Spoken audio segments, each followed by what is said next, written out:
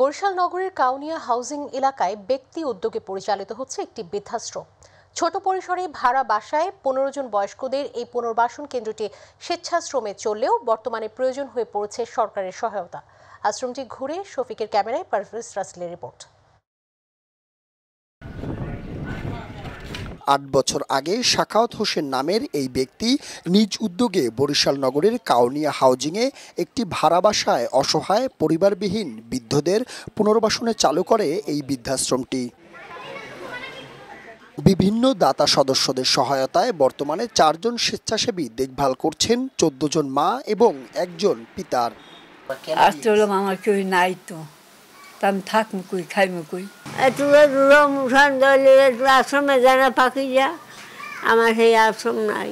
তাদের চিকিৎসা পোশাক ও খাওয়া দাওয়া নিরাপত্তা দিলেও ভাড়া বাসায় স্বল্প জায়গায় বেশ হিমশিম খেতে হচ্ছে এখন এই মহৎ কাজের উদ্যোক্তাদের। তাদের মনের কষ্ট আবেগগুলান তাদের কথা শুনতে শুনতে মানে মনে হয় যেন আমরাই মনে হয় তাদের এখন সব। তাই সরকারের পাশাপাশি সমাজের বিত্তবানদের এগিয়ে আসার আহ্বান জানিয়েছেন শাকাউত হোসেন। মানুষের কাছ থেকে গিয়ে হেঁটে হেঁটে দশ টাকা, বিশ টাকা, পঞ্চাশ টাকা, যে যা দেয় আমাদের, এরকমের করেই বৃদ্ধাশ্রমটি আমি চালিয়ে আসছি।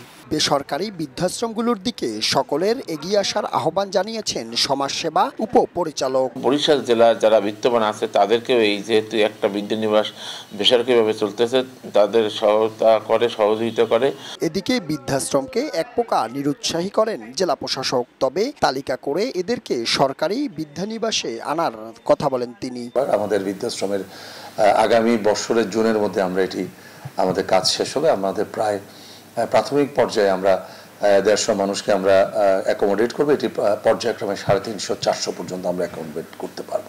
শেষ নিঃশেষ পর্যন্ত একটু বাঁচিয়ে রাখতে সরকারের পাশাপাশি সমাজের বিত্তবানরা এগিয়ে আসবে এমনটাই দাবি এখানে বসবাসরত প্রতিটি পিতামাতার। পারভেজ রাসেল, মাই টিভি